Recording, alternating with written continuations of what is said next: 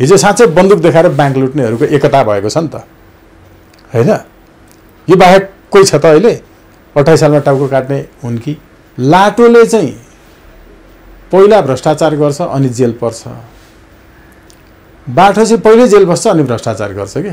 मन्त्री बन्नु प्रधानमन्त्री बन्नु एउटालाई त्यसबाट हटाउनु त्यहाँ अर्को आउनु उथल पुथल हो। तर जति बेला महराको विषयमा एउटा चाहिँ रेपको मुद्दा चलेको थियो त्यो बेला मैले भनेको थिएँ। अहिले पनि त्यो भिडियोहरू छ। तपाईँहरू कोही नआतिनु होला संसदीय व्यवस्थामा यो नै एउटा योग्यता हो जसले धेरै तपाईँको अनाचारी जो धेरै अपराधी जो धेरै सामाजिक रूपले अनैतिक धार्मिक रूपले पापी र कानुनी दृष्टिले अपराधी हुन्छ हो त्यो मान्छे नै योग्य हुन्छ मन्त्री बन्न सांसद बन्न। अहिले राजतन्त्रै चलिरहेछ एक नम्बर। यो गणतन्त्र होइन। गणतन्त्र होइन। गणतन्त्र त वैदिक गणतन्त्र फरक छ फेरि। महत राजा स्वयं द्रष्टा स्वयं हितुवा प्रिया प्रिय भन्छ वेदले कि राजाको पनि योग्यताको परीक्षण हुन्छ। राजाको जेठो छोरा हुने बित्तिकै राजा हुने होइन। त्यस्तो थिएन। त्यो मध्यवैदिक कालमा आएर मात्रै राजाहरू चाहिँ स्वार्थी बनेर अनि आफ्नो छोरालाई नै राजा बनाउँदै लिएर आए। जो मन लाग्यो त्यही छोरा जस्तो जन्मिए पनि राजा बनाइँदैन थियो। तपाईँको संस्थानीको कथामा नवराजलाई हात्तीले बजारमा आएर योग्य मान्छे छान्दै छान्दै माला लगाइदिएर बनाइदिएको होइन? हो एकदम। राजा नभएर हो त? होइन नि? होइन। किनभने उनले योग्य भेटिएनन् त्यो बेला। लिग लिग कोर्टमा तपाईँको दौडेर राजा हुने जित्नेले थियो नि। किनकि त्यो बेलामा युद्धकै नेतृत्व गर्न सक्ने मान्छे राजा चाहिन्थ्यो। राजा जस्तो गजडी भाङ इत्यादि जे भए पनि राजा हुने होइन। त्यो भएको हुनाले वैदिक गणतन्त्र फेरि फरक छ। गणतन्त्रको बारेमा त व्याख्यै भएको छ। यसैले यहाँ अहिले गणतन्त्र आफैमा कुनै व्यवस्था होइन फेरि। र राजतन्त्र पनि कुनै व्यवस्था होइन। संसारमा अहिले अठारवटा देशमा राजा छन्। औपचारिक रूपमा युएनले मान्यता दिएको मध्ये त्यो अठारैवटा देशमा एउटै राजनीतिक प्रणाली छ त? छैन। छैन नि। होइन बेलायतमा पनि महारानी छिन् नर्वेमा होलान् तपाईँको चाहिँ होइन क्यानाडामा होलान्। यी सबै देशमा अब तपाईँको चाहिँ स्वाजिल्यान्डमा होलान् बेग्ला बेग्लै राजनीतिक प्रणाली छन्। अब राजा नभएको देशलाई गणतन्त्र भनिन्छ। It's an absence of the monarch यति नै हो राजाको अनुपस्थिति। त्यो राजा नभएको देश गणतन्त्र हो भनेर गणतन्त्र व्यवस्था हो भने चाइनामा पनि राजा छैन। इन्डियामा पनि छैन। अमेरिकामा पनि छैन। नेपालमा पनि छैन। अनि चाइना इन्डिया अमेरिका नेपालमा एउटै राजनीतिक प्रणाली छैन नि। एउटै व्यवस्था छ? छैन। त्यस कारण गणतन्त्र itself is not any political system हेर्नु त्यो कुनै राजनीतिक प्रणाली होइन। त्यस कारण व्यवस्था के हो भन्ने बुझ्नु पऱ्यो राजा भएको अवस्था नभएको अवस्था। यतिलाई मात्रै हामीले व्यवस्था भनेर बुझ्यौँ भने त फरक हुन्छ। तर सरस्वती भन्दाखेरि अहिले अभिभावकको रूपमा चाहिँ राजा चाहिन्छ भन्ने किसिमको माग सर्वत्र उठिरहेको छ। यसलाई कसरी हेर्नुहुन्छ? राजा मृत्युदण्डको पक्षमा हो भने राजा आउने बित्तिकै यो एमसिसी र अस्तिको नागरिकता विधेयक खारेज हुन्छ भने यदि भ्रष्टहरूलाई अ, कठघराभित्र हाल्न सक्ने मृत्युदण्ड दिन सक्ने पक्षमा हुनुहुन्छ भने चाहिँ राजा आउँदा भयो। तिनवटा कुरा जोडेको छु है। मृत्युदण्ड आउने बित्तिकै एमसिसी खारेजीको घोषणा अस्तिको नागरिकता विधेयक पूर्ण रूपमा खारेज र नयाँ ढङ्गले नागरिकता सही मान्छेलाई दिने गरिकनको जन्मिने बित्तिकै होइन। यो तिनवटा कुरा हुन्छ भने म अहिले नै राजावादी हुन तयार छु। तर के? राजाबाट एमसिसीको विरुद्ध भएको सुन्नु भयो? छैन। सुन्नु भएन? नागरिकताको विधेयकको विरुद्ध भएको सुन्नुभयो अबको पन्ध्र वर्षपछि नेपालमा रैथाने नेपालीहरू अल्पसङ्ख्यक हुन्छन्। लेखेर राख्नुहोस्। अन्ली बिकज अफ द्याट यो सोकल्ड सिटिजनसिप बिल त्यो बिल चाहिँ भनेर भनियो तर त्यो थिएन। इट वाज एन अर्डिनेन्स अध्यादेशको रूपमा लिएर आएर अदालतले पनि त्यसलाई भनिदियो बिल। तर मान्छेहरूको कस्तो छ भने त्यो यति धेरै आफ्नो काल खोज्दै खोज्दै दियोमा झुम्मिरहेका पुतली जस्ता भएका छन् अहिले मान्छेहरू। जस्तो यो सही अर्थमा। यो- यो चर्चा गर्दै गर्दाखेरि चाहिँ प्रधानमन्त्री प्रचण्डको कुरा उहाँले आफ्नै पार्टीको पूर्व सभामुख भइसकेको वरिष्ठ पदमा पद धारण गरिसकेको व्यक्तिलाई अहिले कानुनी कटघरामा ल्याउनको लागि चाहिँ गृहमन्त्रीलाई प्रोत्साहन गरेको भन्ने चर्चा छ। यो पनि देखाउने बाटो मात्रै हो त्यसो भए। कृष्णबहादुर महराको कुरा गर्दा। सरकारमा जानु भनेकै आफ्नो पार्टीभित्रकै उपगुटहरू जो आफ्नो विरुद्धमा आउन सक्छ त्यसलाई मत्थर बनाउने। सरकारमा गएर पनि गृहमन्त्री नै हुनु भनेको आफ्ना विरुद्धका प्रमाणहरू नष्ट गर्ने र मुद्दाहरू फिर्ता लिने सरकारमा जानु भनेकै अनि पहिलो कुरा त आफ्नो पार्टीभित्रका गुट उपगुटहरूलाई अन्त्य गरे पछाडि अनि मात्रै बाहिरका सम्बन्धमा आक्रमण गर्ने हो। हेर्नु। यो कसैले भनोस् नभनोस् हुने नै यही हो। देख्नु भएन? तपाईँको चाहिँ केपी ओलीले राष्ट्रवादी कुरा गर्ने भीम रावललाई तह लगाएको? देख्नु भएन? प्रचण्डले देख्नु भएन? अनि रवि लामी छानेले आफ्नो विरुद्ध बोल्ने तपाईँको चाहिँ ढाका प्रसाद श्रेष्ठलाई तह लगाएको देख्नु भएन? जबकि त्योभन्दा प्रमाणित रूपमा अभियोग र जाहेरी उहाँकै विरुद्धमा छन्। भनेपछि सरकारमा जाने भनेको पहिलो काम भनेकै सबभन्दा आफ्नो नजिकका दुश्मनहरूलाई खतम गर्ने हो। हेर्नु। तर महराको सवालमा योभन्दा पहिलादेखि नै उहाँलाई पक्राउ गर्ने सबै आधारहरू त तयार भएका थिए। थिए। होइन? अनुसन्धानहरू भइरहेकै थियो। तर जति बेला महराको विषयमा एउटा चाहिँ रेपको मुद्दा चलेको थियो त्यो बेला मैले भनेको थिएँ। अहिले पनि त्यो भिडियोहरू छ। तपाईँहरू कोही नआत्तिनु होला संसदीय व्यवस्थामा यो नै एउटा योग्यता हो जसले धेरै तपाईँको अनाचारी जो धेरै अपराधी जो धेरै सामाजिक रूपले अनैतिक धार्मिक रूपले पापी र कानुनी दृष्टिले अपराधी हुन्छ हो त्यो मान्छे नै योग्य हुन्छ मन्त्री बन्न सांसद बन्न। त्यो हो। तपाईँले भन्दै गर्दा नेपालमा कस्तो भाष्य छ भने एक दुईचोटि जेल नपरिकन नेतै हुँदैन भन्ने किसिमको भाष्य छ नि। हो अब हेर्नुहोस्। जेल पर्ने के के? हत्या गर्ने आत्महत्या दुरुत्साहन गर्ने सहकारी ठग्ने ब्याङ्क लुट्ने। हिजो बन्दुक देखाएर ब्याङ्क लुट्थे। आज टेलिभिजनको एसएलआर। क्यामेराको एसएलआर हुन्छ नि यो क्यामेरा पनि होइन? सटर स्पिडहरू आज क्यामेराको एसएलआर देखाएर अनुहार प्रेजेन्ट गरेर सहकारी लुट्ने हिजो साँच्चै बन्दुक देखाएर ब्याङ्क लुट्नेहरूको एकता भएको छ नि त होइन? यो बाहेक कोही छ त अहिले? अठाइस सालमा टाउको काट्ने हुन् कि? हाम्रो उत्सव ढकाल हुनुहुन्छ कि? हजुर। केपी ओलीले हत्या गरेको धर्मप्रसाद ढकालको नाति।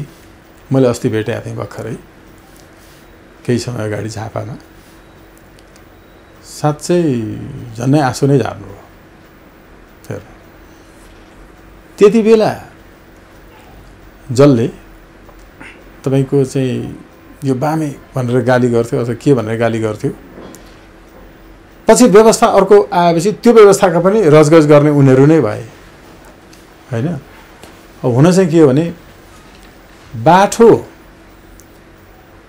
लाटोले चाहिँ पहिला भ्रष्टाचार गर्छ अनि जेल पर्छ। बाठो चाहिँ पहिल्यै जेल बस्छ अनि भ्रष्टाचार गर्छ क्या अहिले नेपालमा त्यही भइरहेछ। यसो भएको हुनाले जनताले एकदम प्रष्ट हुनपर्ने जरुरी छ कि यहाँ यो सरकार परिवर्तन हुन्छ अनि मिडियाको हेडलाइन हुन्छ दुई चार दिन। यत्रो भङ्गेरी टाउकी अक्षरमा होइन टेलिभिजनदेखि लिएर थम्नेलहरू बन्छन्। उथल पुथल प्रचण्डले भनेको सरकार एउटा परिवर्तन हुन्छ अर्कोलाई लात मार्छ अर्को लिएर आउँछ यो उथल पुथल हो। भन्नुहोस् के हो? वास्तवमै उथल पुथल? उथल पुथल भनेको मृत्युदण्ड। एक एक नम्बरमा एक लेयरका नेताहरूलाई मार्ने। कानुन बमोजिम। हिजो जस्तो ढुकेर कहाँ गएर पछाडिबाट बाटो छेकेर होइन। नीतिगत रूपमा भ्रष्टाचार गर्ने यसो गर्दा जनता मारिन्छ? हलो जोत्दै गरेर किसान मारिन्छ? मारिँदैन। एउटा रिक्सावाला वा सडक पेटीमा बसेर चाहिँ बुट पोलिस गर्ने कोही श्रमिक मारिन्छ मारिँदैन। यदि भ्रष्ट छ भने। उसलाई? पहिलो नेता मार्ने अभियान भनेको मृत्युदण्डको व्यवस्था एक नम्बर। अनि मात्र त्यहाँबाट मुहान खराब भयो भने सबै खराब हुन्छ नि त होइन र? एक नम्बर मृत्युदण्डको व्यवस्था पहिलो चरणमा नीतिगत भ्रष्टाचार गर्नेलाई मात्रै। दोस्रो नम्बरमा देशका सूचना विदेशीलाई बेच्नेलाई। तेस्रो अनि आउँछ तपाईँको। साँच्चै बालबालिका बलात्कार गर्ने चेलीबेटी बेचबिखन गर्ने एउटा शरीर कहीँ लगेर विश्यालयमा बिक्री गरेर फर्केर आउन सक्ने मान्छे बिहे गरेको नाटकमा किन बाँच्नु पर्यो? त्यसले मरे केही फरक पर्दैन। यो पाप होइन धर्म हो। त्यो भएको हुनाले उथल पुथल भनेको संसदीय व्यवस्थाको अन्त्य मृत्युदण्डको व्यवस्था सोह्रदेखि छब्बिस वर्षसम्मका सबै युवालाई अनिवार्य सैनिक स्वयंसेवामा राखेर निशुल्क स्वास्थ्य शिक्षा र आवास उपलब्ध गराउन सकिन्छ। इजरायलले यही गरेको हो। यदि यो सबै भयो भने प्रचण्डलाई गणतन्त्रको नायक मान्न सकिन्छ। हो यति भयो भने सकिन्छ। उथल पुथल भनेको त्यो कहाँ एउटा जाबो यत्रो यत्रो म अचम्म लाग्छ कि? मन्त्री बन्नु प्रधानमन्त्री बन्नु एउटालाई त्यसबाट हटाउनु त्यहाँ अर्को आउनु उथल पुथल हो। किनभने तत्त्व ज्ञानको अभाव भयो भने यसैलाई ठुलो कुरा मान्छन्। मान्छे जब आध्यात्मिक हुन्छ होइन साँच्चै चेतन सत्ताको एउटा धुरीमा पुग्छ त्यति बेला मन्त्री प्रधानमन्त्री इत्यादि केही होइन। यो यसलाई उथल पुथल ठान्छन् के? यो त केटाकेटी कुरा भइहाल्यो नि। उथल पुथल कहाँ यस्तो हुन्छ? उथल पुथल त हुनै जरुरी त्यो बाँकी छ। जस्तो गर्नुहुन्न हजुरले यो व्यवस्थालाई यो गणतन्त्रै होइन भन्नुभयो। अहिले चलिरहेको राजतन्त्र हो भन्नुभयो। किनकि। यी नेताहरूले राज गरिरहेछन्। हो।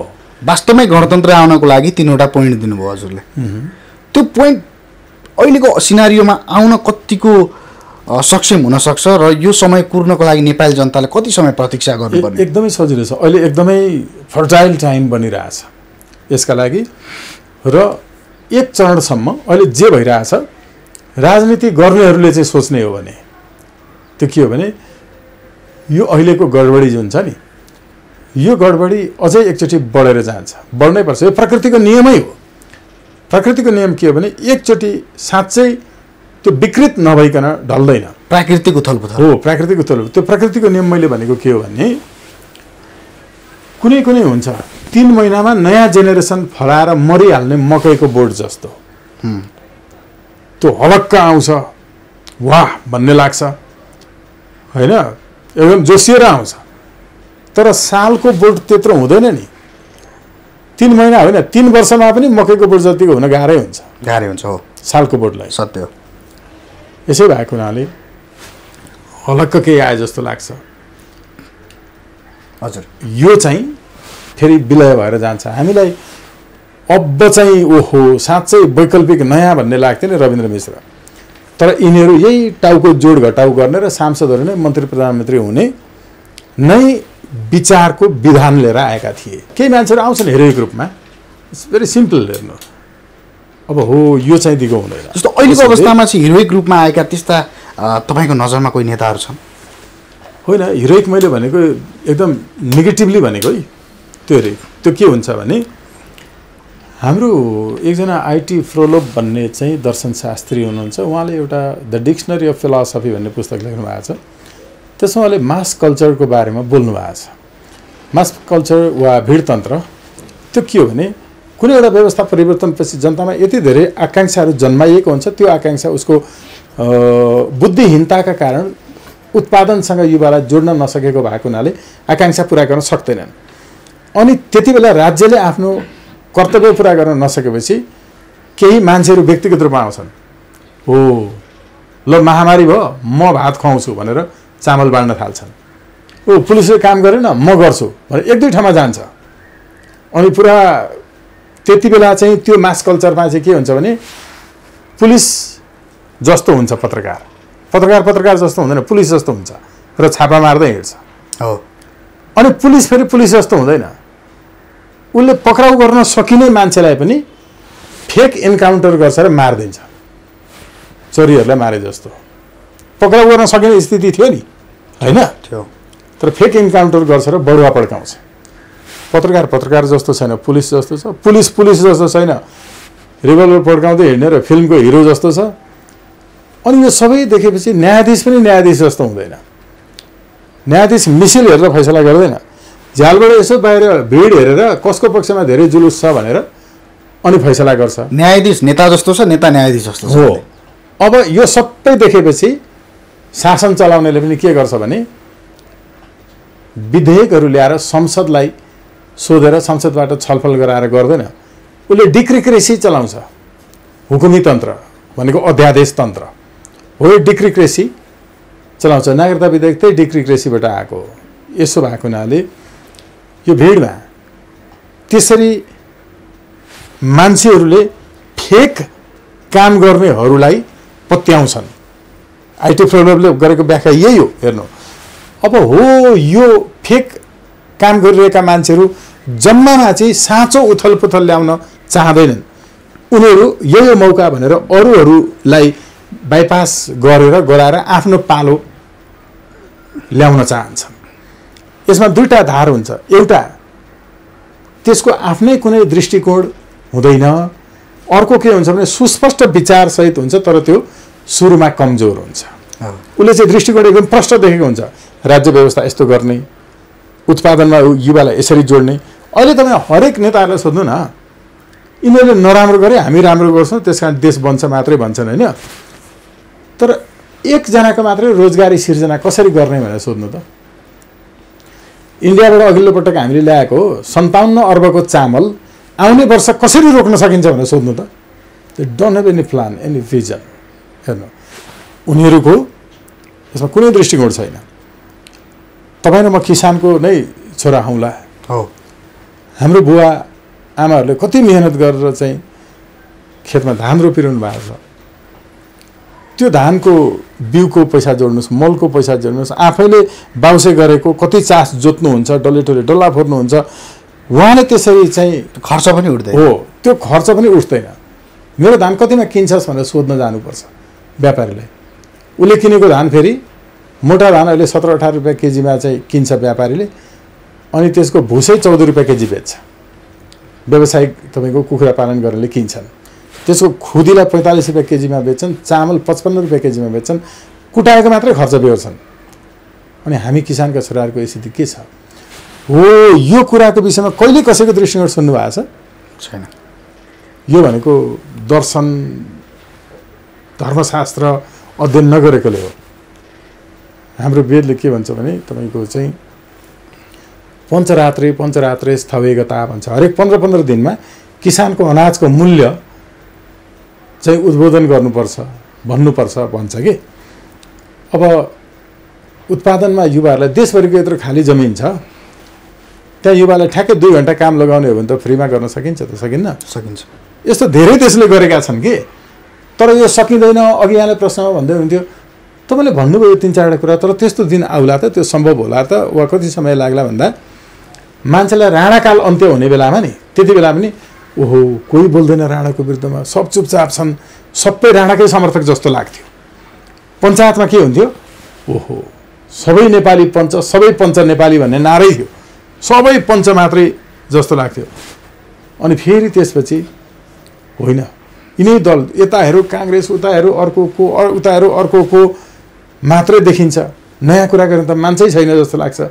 तर भित्रभित्रै भित्रभित्रै नयाँको पक्षमा दस प्रतिशत मान्छे तयार भएको हुन्छ। पहिलो चरणमा कोही तपाईँ जस्तै पत्रकार बनेर त्यसलाई चाहिँ तपाईँको इन्फ्लुएन्स गरेर हुन्छन् कोही लेखक हुन्छन् कोही कवि कलाकार हुन्छन् कोही वकिल हुन्छन् यिनीहरू देखिँदैनन्। आफ्नो आफ्नो प्रोफेसनमा मात्रै देखिन्छन्।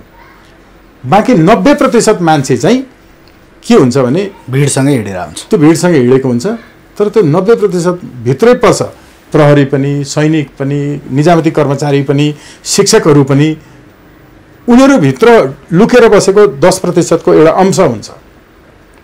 र यो दस प्रतिशत नयाँ गर्न चाहने चाहिँ जे पनि गर्न तयार हुन्छ मार्न पनि तयार हुन्छ मर्न पनि तयार हुन्छ।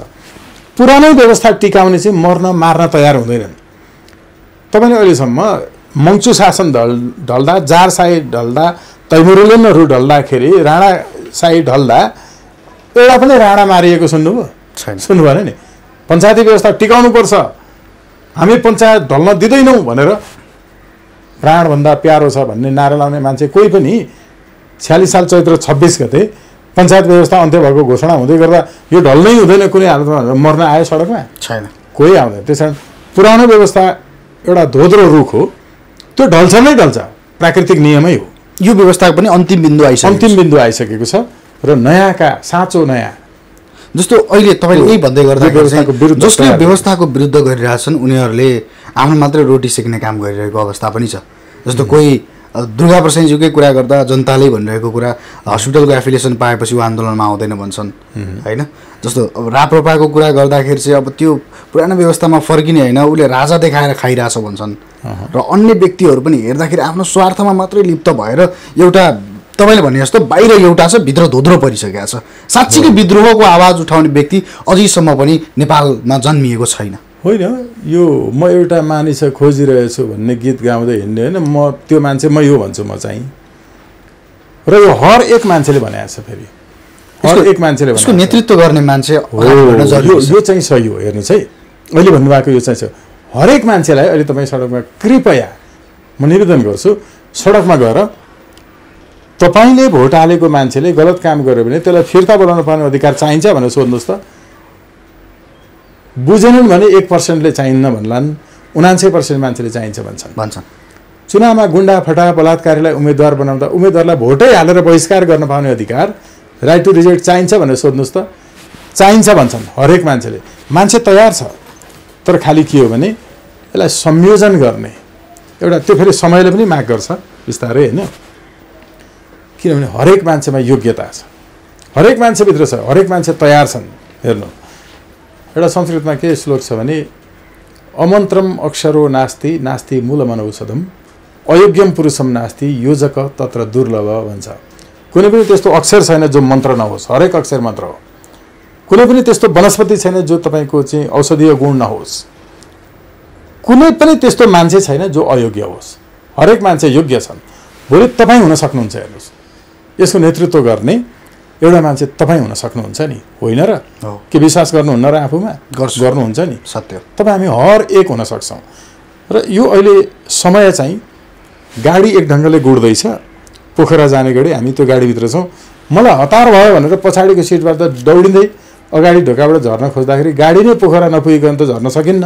सकिँदैन। त्यसमा यो प्राकृतिक नियम के हो भने पहिला एउटा चरणमा यी सबैहरू वास्तवमा खराब रहेछन् भन्ने अझै हिजो त म एक्लै बोल्थेँ। गाडी बिन्दुमा पुग्दैछ। हो बिन्दुमा पुग्दैछ। हिजो म एक्लै बोल्थेँ हेर्नुहोस्। मलाई त्यति बेला यति श्रद्धाञ्जली दिन्थे मान्छेले अहिले बिस्तारै बिस्तारै हो सकेत नेपाल भनेको ठिक रहेछ है। भन्दैछन् नि मान्छेहरू। त्यो दिन आउँछ। म मरेर जाउँ केही फरक पर्दैन। बाँचिरहनुको लागि आएकै होइन। म त एकदम धार्मिक आध्यात्मिक मान्छे हो। जुनसुकै बेला म मर्न तयार मान्छे हो नि त। होइन? यो भएको हुनाले हामी तयार नभएकाहरू पनि कति बेला मर्छ थाहा हुन्न भने। किन लोभलाज गरिरहने सत्य कुरा चाहिँ बताएर मर्ने। यसो भएको हुनाले यो सत्यले के देखाउँदैछ अहिले भने मान्छेले ओहो हिजो उसले भनेको ठिकै रहेछ है। क्रिटिकल्ली हेर्नु पऱ्यो कि? जस्तो भन्नु नि तपाईँले कुनै बेलामा म मात्रै एक्लै थिएँ यो विरुद्धमा बोल्ने भनेर। त्यो भन्दै गर्दा त्यति बेला धम्कीहरू ज्यान मार्ने धम्कीहरू पनि प्रशस्त आउँथ्यो होला। होइन घरमा तपाईँको चाहिँ फोन राख्दाखेरि अब छोरीहरूलाई समस्या आउँथ्यो। इन्डियन एम्बेसीबाट आएको त अहिले पनि युट्युबमा लाइभ छ तपाईँको। त्यो थर्ड टाइम थियो मलाई त्यसरी गरेको। होइन? बोल्दै गर्दाखेरिको उसमा आएको। मैले गृह मन्त्रालय यति यति नम्बरबाट मलाई फोनबाट धम्की आयो त्यो नम्बर चाहिँ इन्डियन एम्बेसीको हो। मलाई यो विषयमा चाहिँ तपाईँहरू सोध्नुहोस् भनेर लेखेर दिएँ। गृह मन्त्रालयमा केही पनि गरेनन् होइन को गृहमन्त्री तत्कालीन? त्यति बेलाको गृहमन्त्री चाहिँ एमालेको हुनुहुन्थ्यो। कोभिडको टाइममा कोभिडको टाइममा लेखेर दिएँ बकाइदा औपचारिकमा अहिले पनि राखेको छु। मैले त्यसलाई फाइलै बनाएर। कुनै पनि देशको दूतावासले नि अर्को देश का जुन देशमा आफ्नो दूतावास हुन्छ त्यो देशका नागरिकको व्यक्तिगत सूचनाहरू सङ्कलन गरेर राख्न मिल्दैन कि? मिल्दैन हो। होइन? तर उसले सिधै भन्यो मलाई कि तेरो छोरी कुन बाटो हिँड्छ? होइन श्रीमती कहाँ काम गर्छ? हामीलाई थाहा छ भन्ने हिसाबले भनेको त सारा जनताले सुन्यो त। अब यो जे होस् यी फेरि पनि सामान्य कुरा हुन्। जीवनमा तपाईँको जन्म एउटा सत्य छ मृत्यु अर्को सत्य छ। बिचका कुराहरू चाहिँ भगवान्को भरमा छैन। बिचका कुराहरू चाहिँ तपाईँ हामीले तय गर्ने हो। हो त्यो तय हामीले राम्रो गर्छौँ कर्म भने राम्रो हुन्छ। अब अर्को कुरा हेर्नु है त मेरो द कन्टेन्टमेन्ट इज ह्याप्पिनेस भन्छ नि सन्तोषम परमम सुखम। त्यो कन्टेन्टमेन्ट चाहिँ ह्याप्पिनेसभन्दा माथिको कुरा हो। त्यसको लेभल गीताले व्याख्या गर्छ यसको बारेमा। अहिले मैले देशैभरिको सांसदहरूले प्रदेशको संसदले पनि सङ्घीय संसदले पनि यी हरेक झन् सङ्घीय संसदको त छ छ करोड रुपियाँ लिएर खान्थे नि यिनीहरूले। भ्रष्टाचारको मूल स्रोतै त्यही थियो त्यही भएर चुनावमा खर्च गर्थे। त्रिलोकबहादुर चन्दज्यू हामी र संयोग कस्तो परेछ भने अस्ति चुनाव लडेका र चुनावमा पराजित भएका हामीहरूले यो सांसदले भ्रष्टाचार गर्ने छ छ करोड रकम चाहिँ दिनु हुँदैन खारेज गर्नुपर्छ भनेर हामीले भन्यौँ। अहिले देशभरिको प्रदेश संसदको पनि खारेज भयो सङ्घीय संसदको पनि खारेज भयो र पहिलो चरणमा हामीले बयालिस अर्ब रुपियाँ यो देशको जोगाएछौँ। र अस्ति भूकम्प पीडितहरूलाई त्यही बयालिस अर्ब रुपियाँ सांसद विकास कोषको रकम मार्फत हामीले राहत दियौँ भनेर सरकारले विज्ञप्ति नै निकाल्यो होइन? निकाल्यो अब सरकारले ल्याएका गलत कानुनहरू खारेज गर्ने काम कसको हो? प्रतिपक्षी सांसदको। हो। होइन? हो। सांसदले दुइटा काम गर्छ। सत्ता पक्षको हो भने राम्रो राम्रो कानुन ल्याउने प्रतिपक्षीको हो भने नराम्रो ल्याएछ भने खारेज गर्ने। अब हामीले हिजोको फैसला सुनिहाल्नुभयो यो सुन्नुभयो लगायत कैयौँ धेरै जनतालाई थाहा भइसकेको छ। हामीले चाहिँ यिनले ल्याएका गलत कानुन खारेज गराउँदैछौँ भने जनताको साँचो सांसद हामी हौँ कि अहिले संसदमा भएका मान्छे हुन्? भनेपछि हामीले संसदमा पुगेर गर्ने काम पनि बरु त्यहाँ हुँदा पार्टीले व्हिप लगाउँथ्यो होला। होइन? बाहिर बसेर गरेका छौँ नि। छ एकदम। यो भएको हुनाले हामीले गर्ने कर्ममा चाहिँ विश्वास गऱ्यौँ भने त्यो समय आउँछ फेरि। सरस्वती हेर्दा विद्रोह सुरु भइसकेको छ। विद्रोह सुरु भइसकेको छ त्यो मृत्युदण्डको पक्षमा हुनेछ संसदीय व्यवस्थाको विपक्षमा हुनेछ र अहिलेसम्म बनेका गलत कानुनहरूलाई पूर्ण रूपमा खारेज गरेर मल्टियामेट गर्ने र यो व्यवस्थाको धुलिसात गर्ने विद्रोह जागिसकेको छ। हस् त स्वागत सर। यहाँको समय र समाजको लागि धन्यवाद। जाँदा जाँदै के भन्न चाहनुहुन्छ? सबैलाई के भन्न चाहन्छु भने तपाईँ आफूभित्र धेरै ठुलो क्षमता छ। अत्यन्त ठुलो क्षमता छ। आफूमा एकदमै धेरै विश्वास गर्नुहोस्। तर त्यो विश्वासलाई नकारात्मक ऊर्जाको रूपमा नलिनुहोस्। काम चाहिँ गलत गर्ने अनि आफैमा त्यो बढ्दै गएको विश्वासको कारणले गलतै काम गर्न प्रेरित हुने पनि नेगेटिभ ऊर्जा हुन्छ मान्छेमा हो त्यो नेगेटिभ ऊर्जालाई चाहिँ प्राधान्य इम्पोर्टेन्स नदिनुहोस् भन्न चाहन्छु एउटा। अर्को युवा साथीहरूका लागि। तपाईँ कृपया घरमा बिहान उठ्ने बित्तिकै पहिला भगवान्को दर्शन गर्नुहोस्। हप्तामा एकचोटि कुनै न कुनै नजिकमा भएको मन्दिर छ भने गइदिनुहोस्। आफूले सुतेको कपडा उठेपछि आफै मिलाउनुहोस्। आफूले लगाएको कपडा आफै धुनुहोस्। आफूले खाना खाएको थाल मात्रै भए पनि कम्तीमा आफै सफा गरेर घरबाट हिँडिदिनुहोस्। यति गरेपछि घरभित्रबाट लोकतन्त्र महिला अधिकार यी सबै कुराहरू सुरु हुन्छ र घरमा बुवा आमा हुनुहुन्छ भने साँझमा सुत्ने बेलामा सम्भव छ भने बुवा आमाको गोडामा तेल लगाएर मसाज गरिदिएर सुत्नुहोस् हुनुहुन्न भने फोटोमा भए पनि दर्शन गरेर सुत्नुहोस् हस् त धन्यवाद। Thank you